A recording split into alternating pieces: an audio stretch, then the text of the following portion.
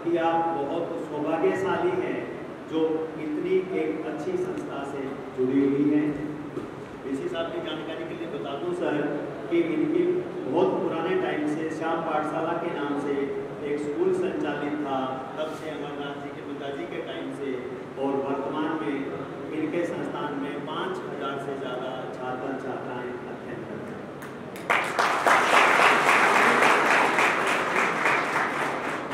अभी अभी सर जो तारीफ़ कर रहे थे डीसी साहब भी ये शब्द बोल रहे थे, वो वास्तव में शब्द नहीं, सत्य था।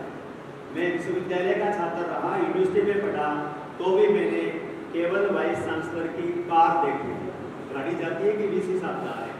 आप बहुत सौभाग्यशाली हैं कि आपके सामने इतने बड़े शख्सियत आपके सामने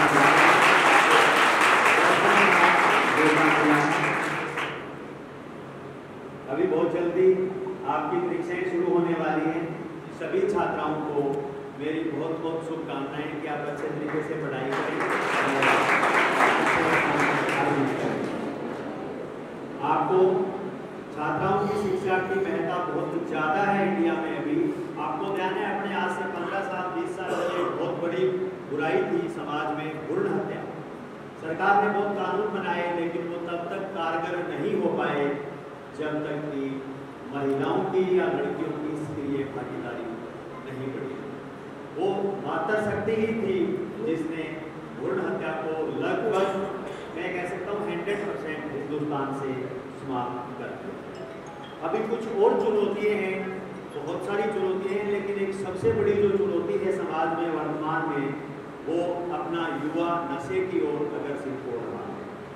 तो उसके लिए भी मैं छात्राओं से अनुरोध करूँगा कि वो अपनी भागीदारी बढ़ाएँ, अपने आप को आगे लाएँ और नशे के विरोध में किसी भी प्रकार से समझाइश करके युवाओं को नशे की प्रवृत्ति से दूर करें। ये शक्ति आप में है, बस आपको पहचानने की ज़रूरत है।